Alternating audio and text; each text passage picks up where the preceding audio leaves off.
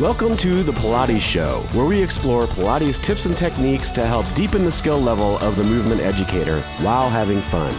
Hi there, I'm your host Casie Marie Herdt, and today we're going to be looking at a little bit of side lying leg work on the mat.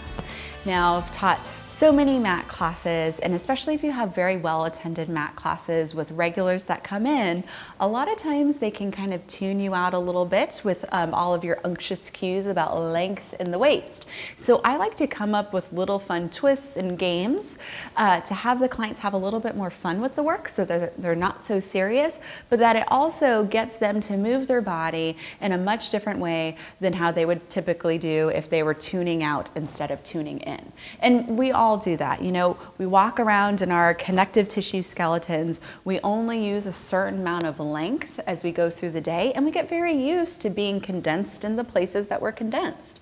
So these little games can really help to get to open up the fascia, open up the connective tissue skeleton to really get length injected into all of these Pilates movements.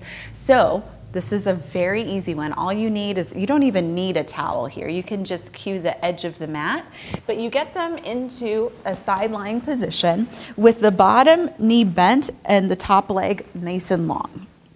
And so you get the foot onto the towel.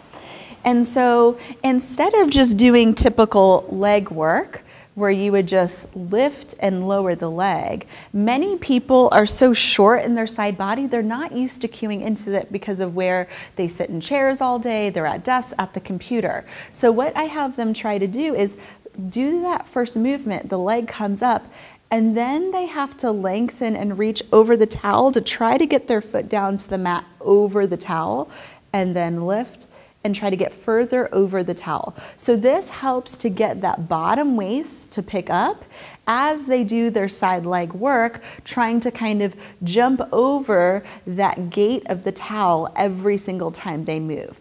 I guarantee you having a vector in which to direct their movement is absolutely going to give them more length where they need it. Because we know in side lying leg work, yes, it's about the leg that's moving, but mostly it's about how do we create tissue integrity and alignment in the torso while we're doing it. So this is a nice, easy little game that you can cue your clients into.